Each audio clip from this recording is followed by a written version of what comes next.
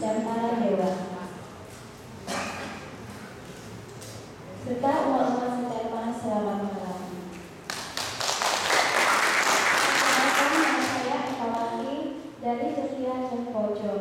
Pada kesempatan ini, saya ingin membahas buku karya edisi 153 Biarkan, biarkan sinar matahari menerangi.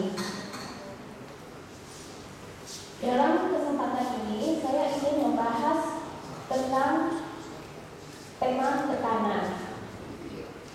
Pada zaman ini, banyak sekali orang-orang yang mengalami tekanan, baik itu tekanan mental maupun tekanan ekonomi. Bagi orang yang mengalami tekanan, sering kali tidak bisa mengontrol dirinya sendiri, sehingga mudah sekali terjerumus ke dalam dosa bunuh diri. Ingatlah, ajaran Buddha sangat menentang bunuh diri karena dengan melakukan aksi bunuh diri ini sama saja kita dengan membunuh Buddha.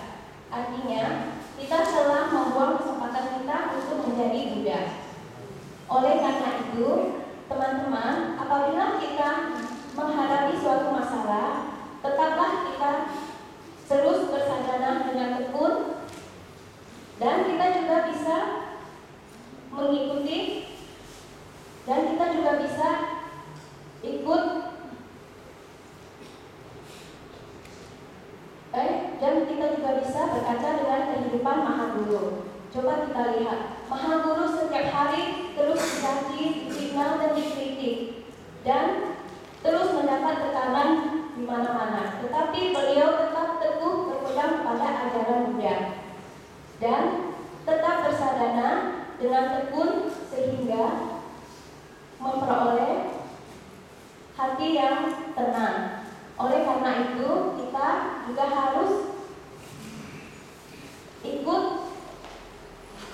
dengan kehidupan Maha Guru sehingga kita bisa terbebas dari samsara. Bagi teman-teman yang ingin